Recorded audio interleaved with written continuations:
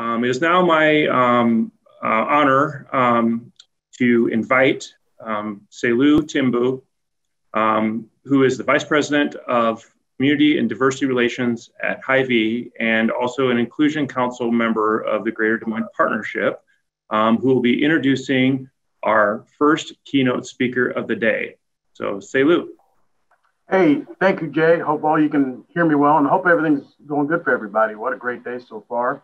Um, it was fantastic CEO uh, roundtable that we just had. So, good morning to y'all. I'm excited to be here to be able to visit with you. And it's also my honor to introduce our first keynote speaker for today's event. And what I'm going to do is moderate the Q&A. So I'm going to ask you if you have questions that you'd like to ask, please put them in the Q&A box. We'll try to get, take as many questions as we can. So I'm going to introduce Dr. Laura Morgan Roberts. She's an innovative global scholar and consultant on the science of maximizing human potential in the diverse organizations and communities. She's published over 50 research articles, teaching cases, and practitioner oriented tools for strategically activating best selves through strength based development and workforce equity and inclusion. Dr. Roberts has ed- edited three books Race, Work and Leadership, Positive or- Organizing in a Global society and exploring positive identities in organizations. And self-published several poetry collections and the Alignment Quest toolkit for activating best selves. Dr. Roberts is also a frequent contributor to Harvard Business Review and the Academy of Management Review for influential publications and presentations on diversity, authenticity, and leadership development have been recognized by Thinker 50 on the radar uh, in in 2018 in the Academy of Management. Dr. Roberts is the 2020 inaugural recipient of the Acad- Academy of Management Organizational Behavior Award for Society Impact. So she currently serves as professor of practice at her alma mater, University of Virginia, in Darden School of Business. She's earned a BA in, in psychology with highest distinction and, and a Phi Beta Kappa from University of Virginia and an MA and PhD in organizational psychology from the University of Michigan. She served on faculty, uh, faculties of Harvard Business School, Georgetown, McDonough School of Business, Antioch University's Graduate School of Leadership and Change. She's also taught organizational behavior, psychology, negotiations, group dynamics, diversity leadership, and career development at the University of Michigan, the Wharton School of Finance, Tuck, Georgia State University, UCLA Anderson, uh, Simmons School of Management, and ATV in Copenhagen, Denmark. Wow, that is amazing. Laura's family roots are in Gary, Indiana, and Washington, D.C., and she's a member of Alpha Kappa Alpha Sorority Inc. Dr. Roberts, with all that and um, with your background and experience, I can just say it's an honor to have you here with us, and we are excited to hear you speak. With that, here's Dr. Roberts. Thank you so much, Selu. Um, very much appreciate the invitation to be here today um, amongst such esteemed uh, thought leaders and um, business leaders who are all taking up this work at such a critical and important time. Um, I was delighted to receive the invitation. As you heard, uh, I'm a Midwesterner by roots, having grown up in Indiana, in Gary, Indiana. Um, my fa- father's side of the family had been in Gary, Indiana for a couple of generations. Uh, my mother's side of the family is from Washington, D.C. Um, and my great grandmother was actually born in Charlottesville, Virginia um, may get more into that story in our conversation today. But I wanted to mention, um, by way of connection to Iowa, the fact that my father is a graduate of Grinnell College. And not only was he a graduate, an enthusiastic graduate, so was his older cousin. Um, and he has served on the board of Grinnell College. He is now um, rotated off because he served on the board for so many years. Uh, he said he felt so passionately about the experience that he had had at Grinnell. And um, he works uh, diligently in promoting access and equity in education, um, but also in healthcare. Uh, so he is an orthopedic surgeon now in San Francisco, I mean, sorry, in Sarasota, Florida. And um, he is working diligently around uh, health disparities. So these intersections around race, justice, um, education, business, and health have all been quite central to my upbringing. Um, have a deep passion and connection around uh, public education and the ways that it can help us to achieve many of the aspirations that we hold for ourselves and for others. So I hope as we engage today, we'll have this conversation from an open systems perspective as we really do think about these intersections, as when we're talking about equity and, and structure, um, differences, um, and race and racism. Um, it's important to think about the ways in which business leaders interface with other important systems within our society, um, education and healthcare being two important ones. So we may cross reference that in some of our conversations. But the title of my comments uh, is based on a framework that I'm going to share with you called the Affirm Framework for Valuing Differences. Um, but my subtext here is seven conversations we should be having but generally aren't, about equitable diversity, inclusion, and positive organizing. So let's just come out the gate and talk about um, some of the aversion that people have to this work. Um, you heard in the panel many different examples of the kinds of resistance that people have to the um, types of initiatives that advance equity, um, inclusion along a number of dimensions. People also have aversion to having the very conversation that our panelists um, engaged in today and the conversations that you'll have throughout the day um, and as you move into your breakout groups. Uh, we simply struggle with um, talking about these topics in ways that are meaningful and help us to catalyze the kinds of institutional and societal changes that we need, um, as well as the personal and individual changes that we need to engage to really move this work forward. So uh, you can see here from my images for those of you who are looking at to characterize typical conversations around diversity, equity, and inclusion in two buckets. Uh, so, one is the, the cotton candy bucket. It's the syrupy sweet conversation that we feel often lacks substance. Um, people like talking about it because uh, it's fun to talk about a lot of differences that we have, but we feel that we're not truly getting to the meat of the issue or the heart of the matter. They're not as nourishing or sustaining. And over time, they may even erode the work, the very work that we're trying to do or undermining it. Um, the other end of the continuum is the Tabasco sauce conversation. It gets really hot, gets really strong, and if you put too much on it um, at the wrong time, or for the people who don't have the palate for it, then there's going to be an aversion that they won't be able to digest what's being shared either.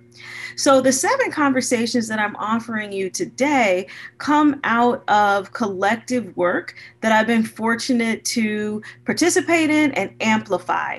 I published three edited volumes these two more recent edited volumes, um, especially Race, Work, and Leadership, was just published in 2019, focus on how we value difference. And in that work, we feature over 50 scholars who have all conducted research in this domain. Positive Organizing in a Global Society is a similar compilation. And so, what I'll invite you to do today as we take up these three conversations is to acknowledge, acknowledge the role that differences play in our organizations and in our societies. Affirm, affirm the value of difference, and I'll say more about how that is hard work and handwork, handiwork, and then finally the action component. So here's the affirm framework. It's it's motivated by an overarching question that I think is at the core of inclusion, which is how do we activate our best selves? You know, it's not just about you know, letting everybody bring themselves to work or bring their whole selves to work just for the sake of self expression alone, but it's really trying to tap into the very best of who we are individually and collectively. So, how do we bring out the best in ourselves and in others? And what will it take for us to make our best selves even better as we move into this work? Um, here at this time in uh, our country's history and global history. So the Affirm framework aligns with um, the letters affirm, anticipate valued contributions from diversity. Uh, focus on strengths, and we'll talk about what this means. Is through a, a, critical lens. It's an appreciative lens, but it's also a critical lens. It's not all cotton candy and, and syrupy sweet. Um, we've we're going to make sure that there's some meat to this conversation as well. Uh, foster conditions for best selves to flourish.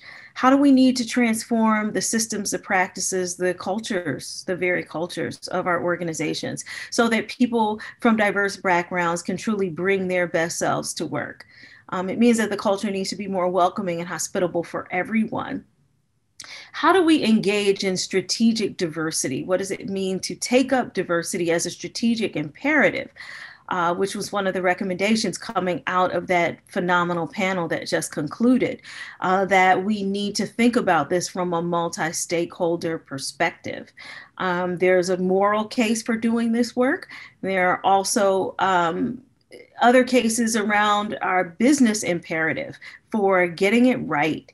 And we should be tuned into that and intentional about alignment in those dimensions. Rewrite the script. Rewrite the script. So we have these scripts for talking about and engaging in differences that are based on some long-standing assumptions and the power dynamics that they reinforce. We have to rewrite the script in order to do this work differently. And then finally mobilizing our resources. Then we're ready to mobilize our resources. So as I move through the content of the talk, I'm going to actually flip back and forth because I know that, again, these conversations are ones that we tend to avoid. In fact, there's research that shows that people will welcome some certain conversations about diversity and inclusion um, when they feel a little bit more like happy talk. But when they start to get more substantive and meatier and really to push up against some of our assumptions around equality, um, around uh, meritocracy, around inclusion and exclusion, uh, they become a little bit unsettling. They don't always sit as well with us, you know. But one of the ways that we tend to come together and bring and build community is through fellowship. It's through truly sitting down and breaking bread with one another and starting to understand more about people's needs, people's values and priorities, um, people's lived experiences. And so I'm going to offer you a set of conversations that you can activate that all fall under this banner of table talk. You know, imagine those experiences when the quality of the meal is nourishing and sustaining, um, but there's probably also an element of fellowship that you would associate with this question when you think, what is the best meal that you have ever eaten? Part of it is about the food that's served, and then part of it is about the atmosphere. Okay. So let's think about what it would take for you to, within your organizations, start to generate that same kind of experience of coming to the table together, being able to break bread and take up this difficult and challenging but important work of diversity, equity, and inclusion. When you think of the best meal you've ever had, you know that it, it's not something that you were able to just grab out of the freezer, pop in the microwave, and then eat on the go right? Somebody took time. They had a recipe, whether they had written it down or they had memorized it because they had learned it and they breathed it, but they took the time with intention to put certain pieces in place to get the right ingredients, combine them in the right measure, in the right order, and then serve it in a way that created this phenomenal experience for you. That's how we have to think about our work in advancing equitable diversity and inclusion. what is our recipe for success? A great place to start with your recipe for success is to think about this experiences that you personally have had when you felt fully included at school or in work or, um, or in your communities more broadly. Uh, what was happening there? Who was involved? How were you engaged? What was it that made you feel truly included, valued, significant? Uh, as a meaningful contributor to whatever was happening within that moment or space. Didn't necessarily mean that you had to be the one running the show um, or that you were the one who was hostessing and taking care of everybody.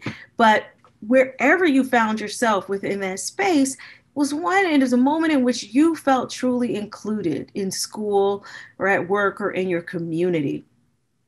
What I've been learning in my research and consulting over the past two decades are that when people feel fully included in these systems, it's often because they feel free. And it's not just that they are a part of a system and then they have to be confined or constrained by the limitations that a system and people in power have created within a system.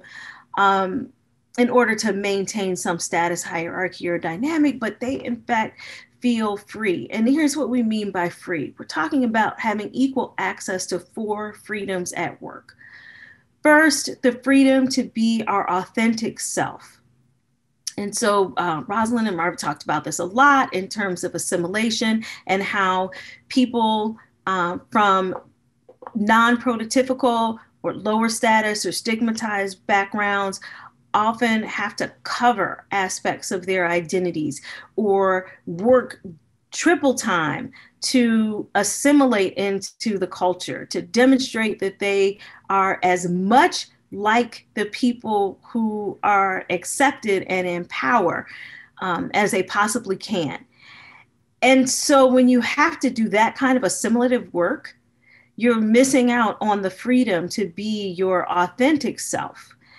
And the research supports that when people are inauthentic at work, they feel less connected to their work. Um, they are cognitively distracted by this assimilation pressure. They're emotionally burdened, or they have an emotional tax um, for feeling this disconnect with their tasks and with their colleagues. And that over time, they also have higher intentions to quit or higher turnover. So there are real costs for organizations when a significant proponent of the organization feels that they are not free to be their authentic selves. The second freedom that people need is the freedom to become their best selves. Uh, and I mentioned that earlier in my talk is how can we grow and develop and self actualize in systems and institutions that uh, are willing to bet on our potential and co create the conditions for us to flourish and grow. You know, and some of that is saying we believe in you and we invest in in all of the resources that you need to be able to thrive and flourish. But guess what? These other two freedoms are important within this process as well.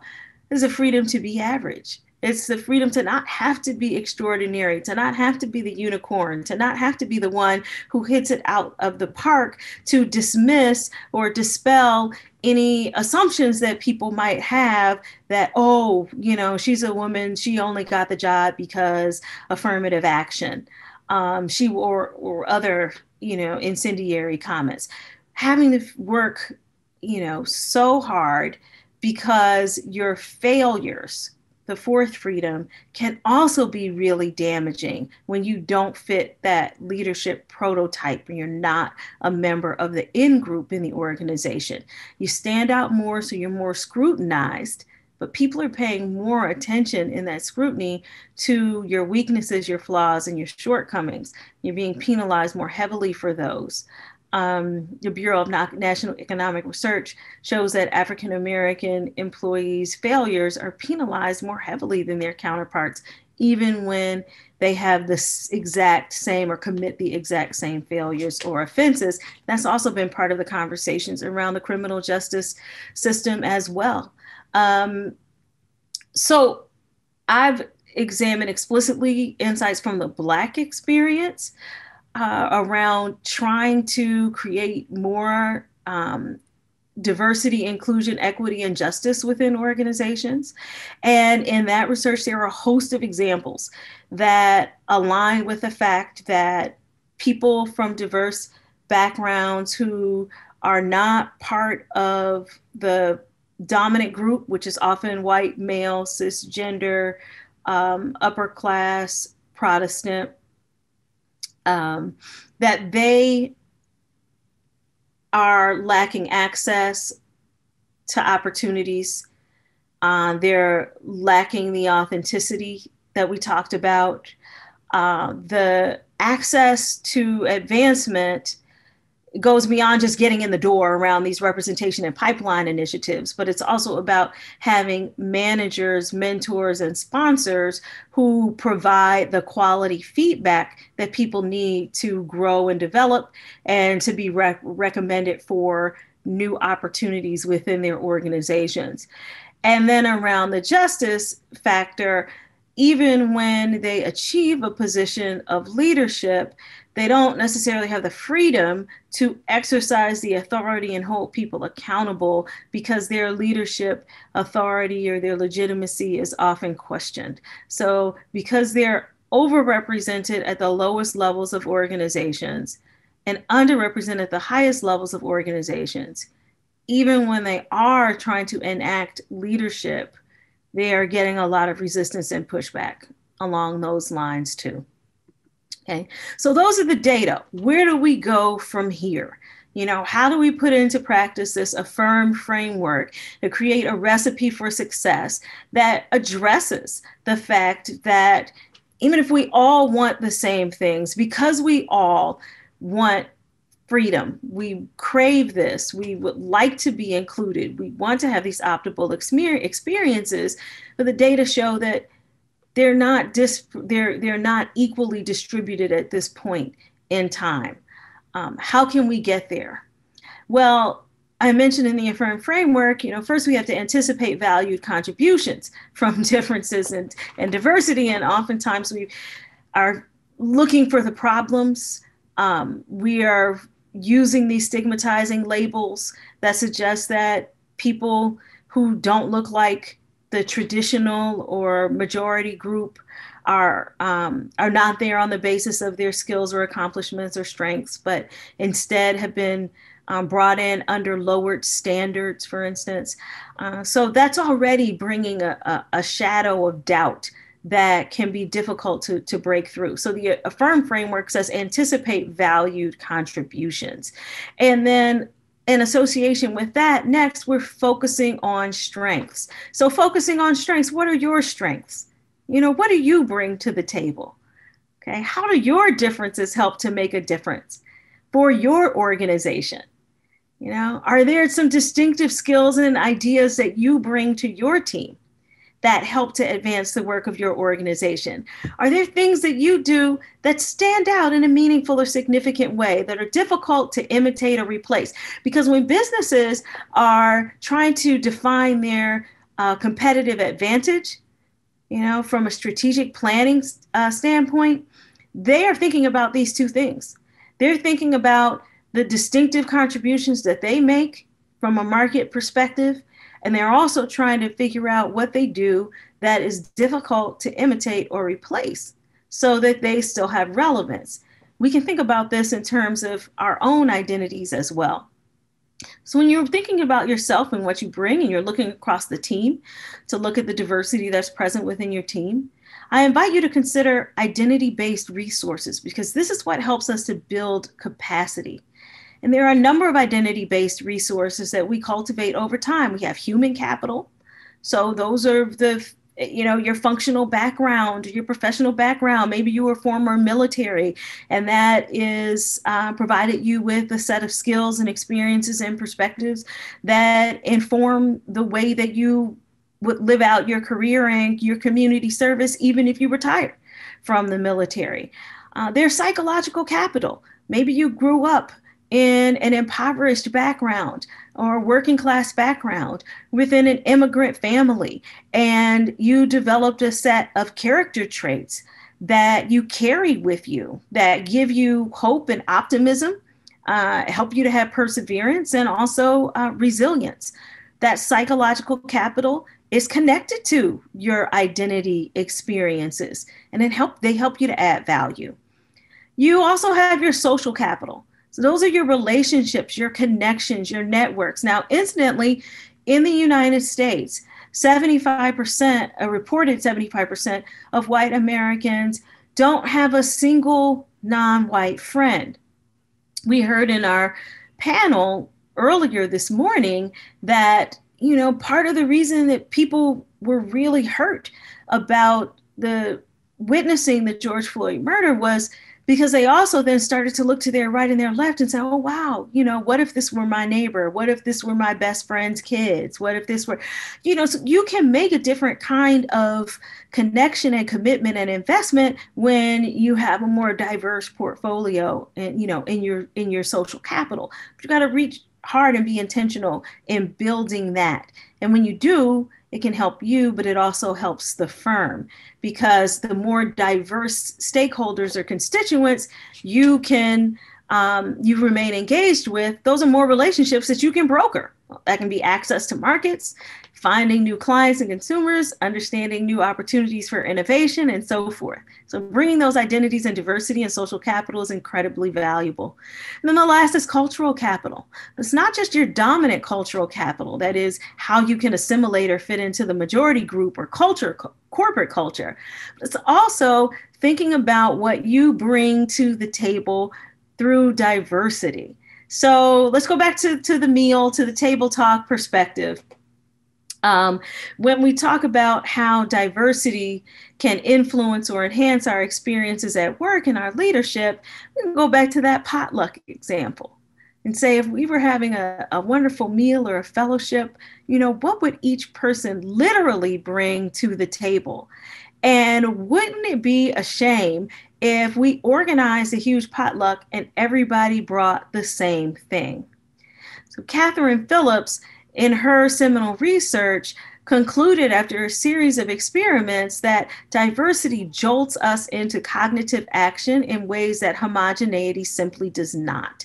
It promotes innovation, market awareness, it also enhances the quality of our decision making, and it enables us to attract the best talent. But diversity works when we're willing to do the work of recognizing, focusing on strengths, and inviting people to the table. We also have to invite people to bring whatever they have to offer and add their secret sauce. Now, by secret sauce, here we're talking about positive deviance. And positive deviance, we're departing from the norm okay? We're not just coming in and you know having our differences as the visual representation, but we're also willing to step out there and offer different perspectives in our team based decisions around corporate strategy and around matters that we think um, are testing or could potentially undermine our values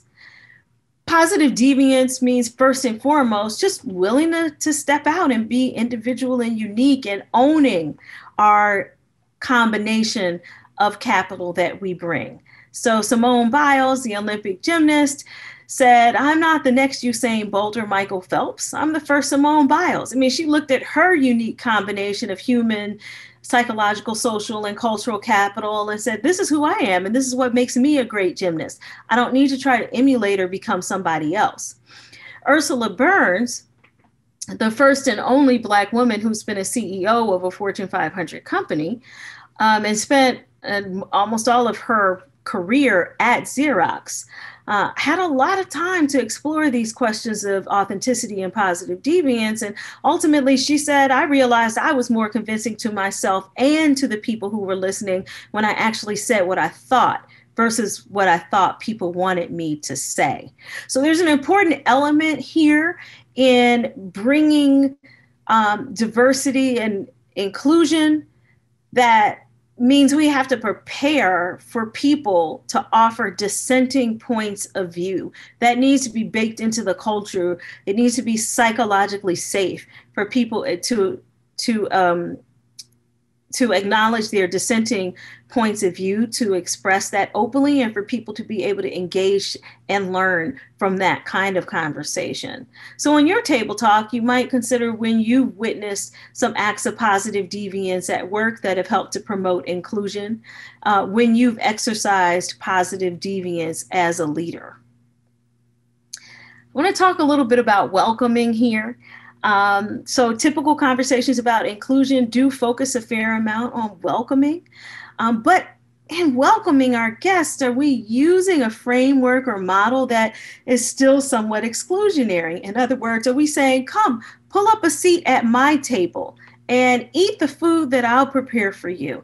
Listen to the menu that I'm going to prepare, uh, that, you know, listen to the music that I'm going to play for you.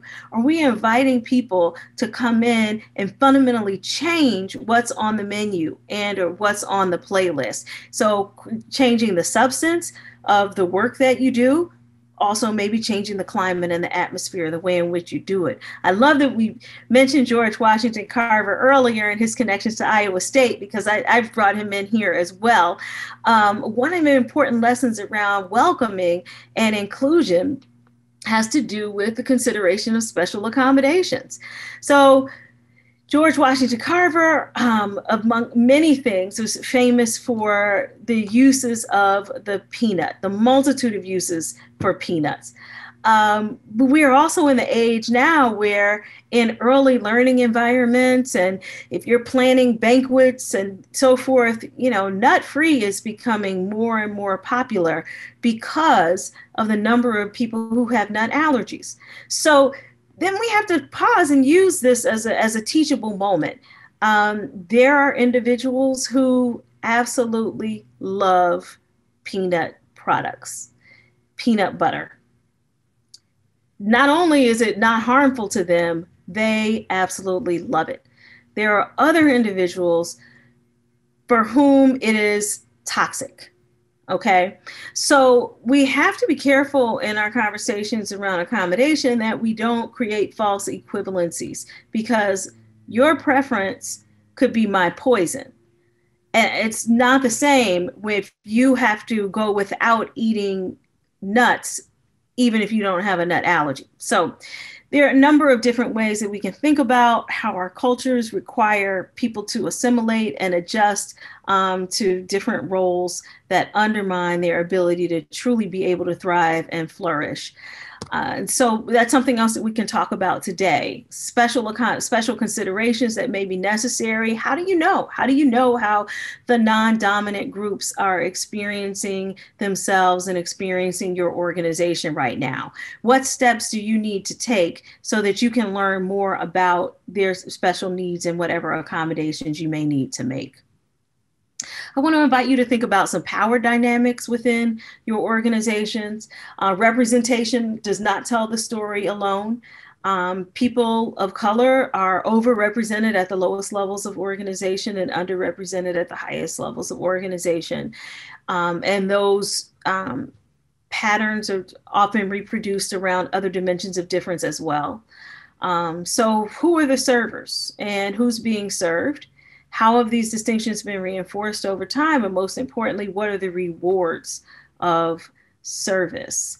And when you think about what's happened this year in COVID, um, the fact that the majority of frontline healthcare workers, um, and I'm not talking about the chief medical officers, um, the hospital administrators, I'm talking about the physician's assistants, uh, the janitorial staff, the nutritional staff, um, those frontline healthcare workers are disproportionately women of color. Um, they are also members of the communities that have been affected economically and health wise, um, and from a justice perspective, you know, most adversely. So when we talked about essential workers during COVID, um, and sheltering in place, you know, who are we really talking about as the essential workers and what kinds of rewards are we offering them? And what are the implications for how businesses and business leaders are either countering or perpetuating societal inequality? You know, in general, when it comes to talk of, of, of power and culture, you know, we tend to sort of remain silent. We enact these scripts around deference for the power brokers, but we don't often name the power dynamics that exist within our organizations. Um, and because of that, we don't have the opportunity. It's not just about, you know, trying to to to reinvent um, and to be more intentional in advancement and equity, but it's also about how if we know that we have power, we can exercise that power to lead inclusively and equitably. So using the power that we have for good. Preparing for tomorrow's meal, this is where the conversation of flipping the script comes in. Uh, flipping the script means suspending some of our assumptions about who knows the answers and who has the wisdom. And we heard some of this from the panel as well. I love the example from the Disney movie Ratatouille, because in this particular movie, it is actually the rat who is the brilliant gourmet chef, um, and the human whose parent was a gourmet chef uh, is the learner. The human is the one who is promoted into this position of head chef within a French restaurant without knowledge of how to cook, even though the parents could cook brilliantly. So he's carrying that stigma, these high expectations that he's not able to live up to. The rat comes in. Everybody have low expectations of the rat, very negative connotations of the rat. Um, but the rat was actually the one who had the wisdom and the graciousness to work in collaboration um, out of love of cooking alone. And then ultimately, you know, was invited and, and recommended and given the status for what he was contribute contributing. So, how can you learn from members of your organization? How can you learn from leaders of other organizations? Uh, what do you have to suspend? Um, in terms of assumptions about expertise. Um, and these assumptions of expertise do correlate with the power dynamics that we mentioned earlier. Finally, planting and harvesting. So we don't just want to serve a meal for today um, figure out how we can tap into diversity and get everybody to bring something to the table for you know a one-time engagement but what does it mean for us to really do this work and take it up in a way that is fundamentally building for the future expanding our capacity to nourish sustain and strengthen more people so organizations and communities grow stronger this is relational work, valuing difference. It's going to require some investments. What does investment mean? It means we're going to have to shift our priorities so that if we want to leverage the business case for diversity, we make the attendant resources um, apparent in in so doing. You can't make a minimal investment in a business case and expect a maximal inter- return. But unfortunately, that's what happens. Um, employee resource groups are incredibly valuable for many of the, the reasons that were mentioned. Um, but when your DEI initiative is hanging on the backs or the shoulders of volunteer laborers who are doing this work, um, you know, out of passion, but not getting acknowledged or rewarded for the way that the work is contributing to the firm is not going to be sustainable. Um, there's also going to be conflict. You know, when we're allowing more dissent, um, a lot, flipping the script, right? That means that we have to come up with some new processes for understanding um, how to make decisions, uh, how to engage with the creativity, um, coming up and questioning marketing strategies, um, maybe having to do some rebranding. We've seen a lot of that in recent months as well. Um, and then on the moral side, there is a measure of discomfort as that we have to prepare ourselves to engage into. So I appreciated the questions earlier about resistance.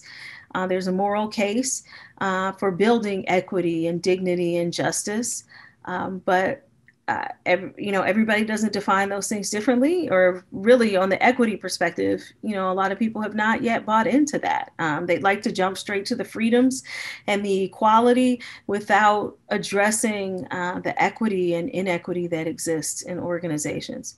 You know, we also tend to be somewhat insular so either focusing externally um, around clients and customers because they often you know they've put a lot of pressure on immediately or other community stakeholders.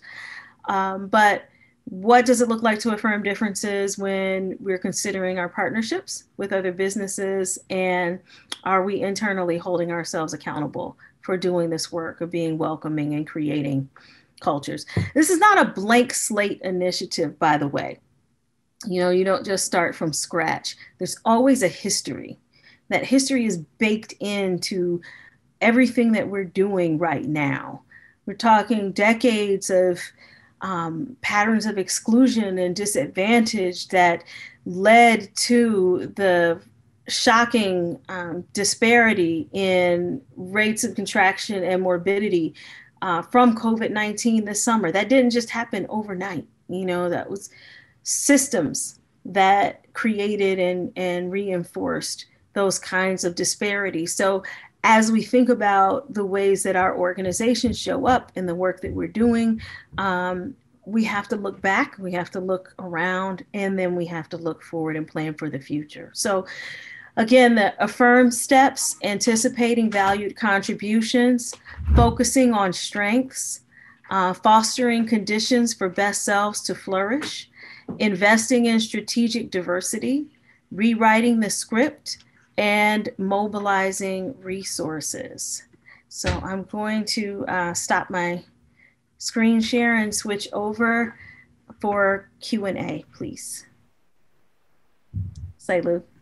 Fantastic presentation, Laura. We appreciate your insight. And uh, we have a few questions for you that want to get asked. Um, it was brought up a couple times to elaborate a little bit on George Washington Carver being in the Midwest and being 30 miles away from where he went to school. Um, just a lot of insight of what his experience is like, if you're willing to share what his experience was like going to school at Iowa State University.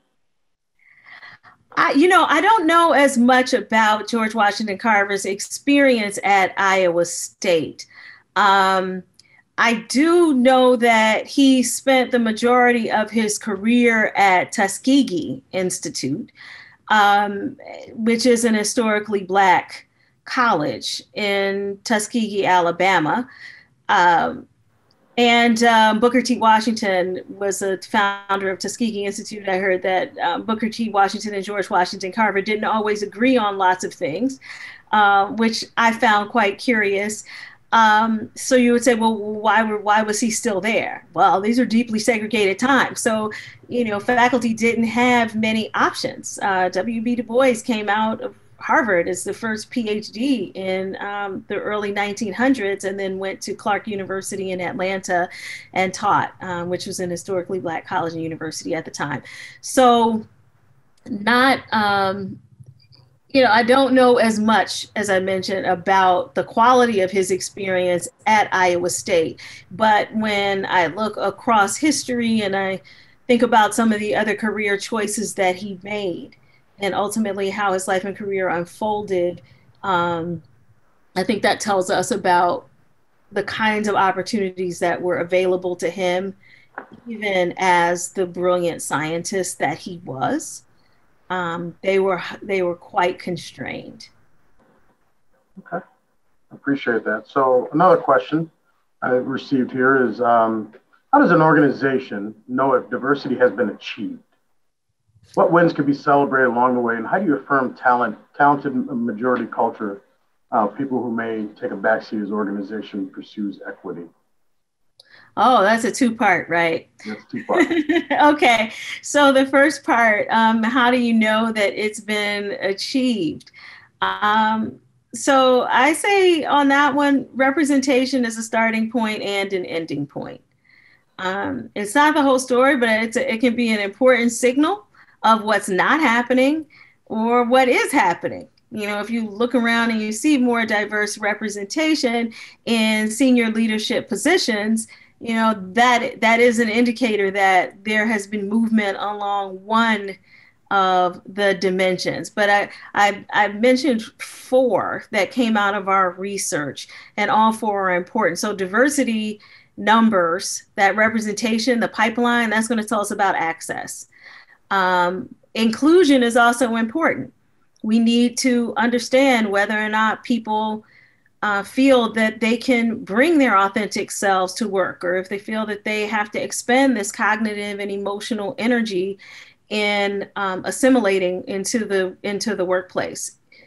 If they're present physically, but their culture, the organization's culture is not hospitable to them, you're essentially serving up somebody a peanut butter sandwich every day who has a peanut allergy.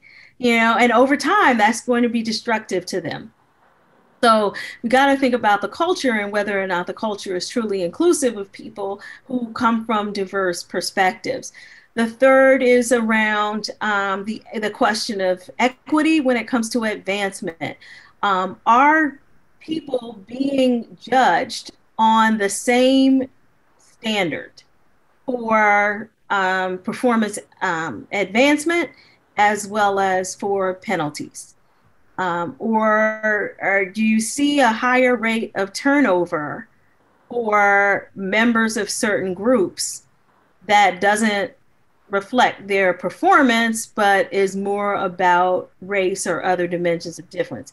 Also, you can look at the other end and talk about hiring and unconscious bias, which you know several of the leaders on the panel today talked about how unconscious bias filters into or, organizations performance management yes but even at the point of hiring. So um, there are field studies that indicate that even subtle signals like having what one would deem an ethnic sounding name versus a name that sounds more uh, white or caucasian american um, gives you a lower evaluation on your resume um, so minorities systematically whiten resumes. They might put a first initial instead of putting a whole name. They might Americanize their name um, so that they don't get immediately kicked out of consideration from a hiring pool. They might not list some of their um, affiliations, their clubs, their activities or organizations or you know i explicitly mention in my bio alpha kappa alpha sorority incorporated. Um, lots of people have heard about alpha kappa alpha sorority incorporated over the past few days or weeks that may have never heard about it. It's a historically black um, sorority.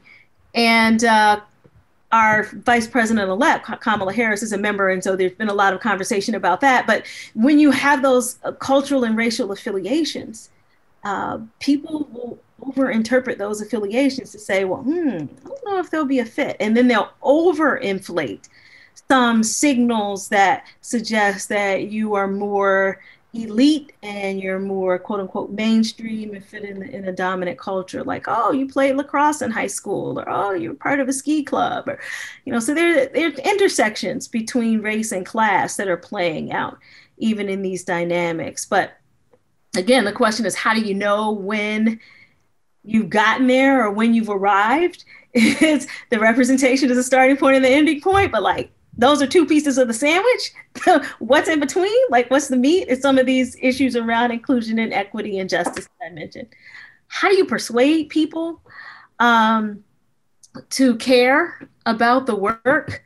Man, that's hard. Um, I've been writing this summer about uh, three zones of action in advancing this work um, head, hands, and heart you know and I, and I talked about them today or i referenced them today. So heads you got to acknowledge you, you have to pre- present data and compelling anecdotes um, so that people will acknowledge that this is real.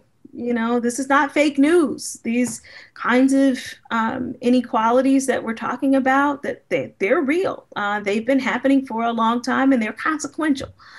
Um, that's no small hurdle because a lot of people, you looked at the exit polls, we're deeply divided right now. If you look at the exit polls from last week's election, I mean, the extent to which people who voted for one candidate versus the other believe that race and racism is an issue in this company I mean, in this country right now, and how that would also mirror in your companies, quite stark. People are deeply divided around that.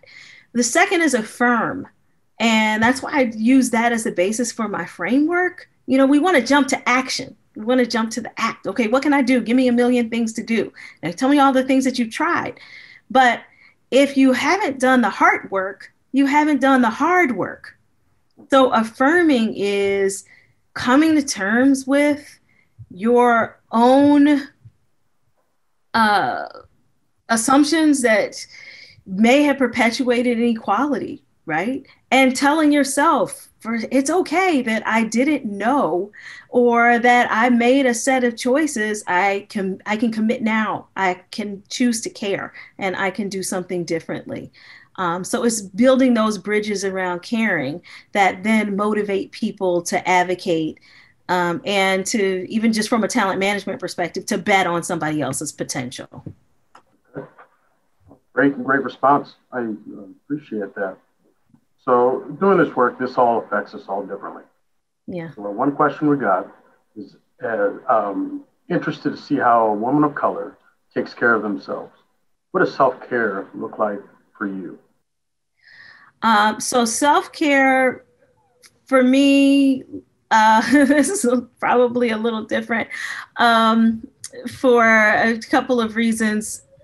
I think one because um, I tend to be all in. So it's a lot harder for me personally to turn it off because it's it's my lived experience. It's also at the center of my professional life right now. Um, and so self-care for me had over the past several months has included writing.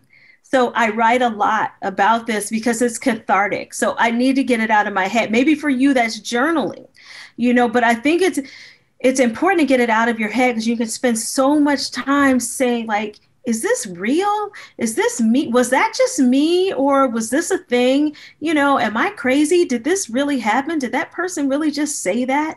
So it's that kind of um, you know doubt and not being able to have the kinds of reality checks that you need can be really damaging. So journal one or write however you need to have conversation partners. This is why I'm highlighting seven conversations. I feel like there's there's value, there's healing, there's learning, there's resistance in the talk, in the conversations. You can have a range of conversations with people. Some of them are, quite frankly, draining and exhausting because they can be so polarizing. Um, but some of them can also be quite life giving. So that's valuable for me as well. The last is, um, I write a lot about positive identities. I published in uh, Harvard Business Review article in December of 2019 as part of our Advancing Black Leaders um, Big Idea edition. It came out November, December 2019. You can get it now. They pulled it out from out of the paywall in June.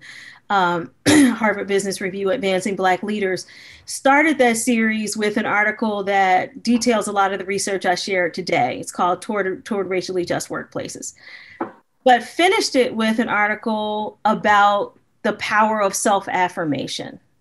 And I, with my colleague Tony Mayo, who actually wrote a case study about uh, Rosalind and her leadership at John Deere, uh, Harvard Business Review case study. Tony and I wrote this piece to close out that series about self affirmation, and we offer different affirmations that you can give for yourself and for others, and especially for Black women at different stages of your career, because it looks differently at different stages of your career.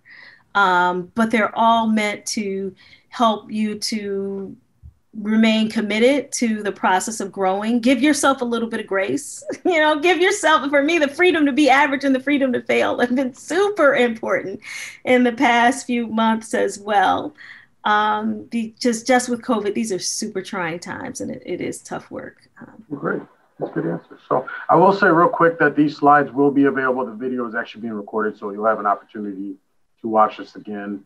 Um, in the sake, sake of time, I'm going to ask one more question here. We've got a lot of good questions, so I apologize if yours didn't um, get answered. But you know, I'd like you to talk about um, about gathering feedback from minority employees throughout the organization um, to see if they feel included. Do you know if, uh, what companies are really good at this or have any best in class examples or tools when having those conversations, as they could be, you know, relatively uncomfortable? They, yeah, they do tend to be relatively uncomfortable. And so, say, Lou, you know, quite quite candidly, I would say most companies have shied away. Um, you know, that was the work that I wanted to do for my doctoral dissertation. And when I started trying to get companies to let me come in and ask their employees about their experiences of feeling included uh, in the late 90s, I got more no's than I can even count and catalog. Uh, thought I had a yes, and then legal caught wind of it and got kicked out. So companies are still very skittish, uh, squeamish about doing this and about making it transparent. In fact, they haven't even been counting uh, from a representation standpoint and analyzing those data on the basis of race. So one place to start is to just look at your employee engagement survey. And most companies have them and analyze the data that you're already collecting by subgroups and see if there's some patterns and trends and differences there.